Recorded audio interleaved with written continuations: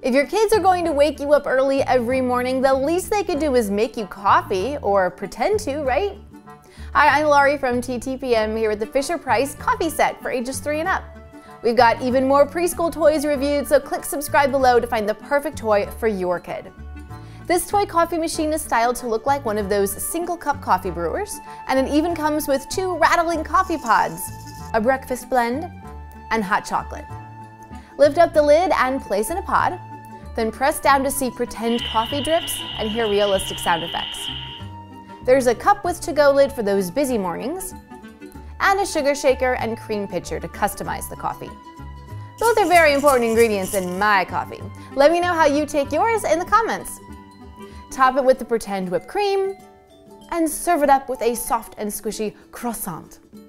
Two AAA batteries are included for the in-store Try feature, so it's recommended that you replace them before you play for best results. This is adorable.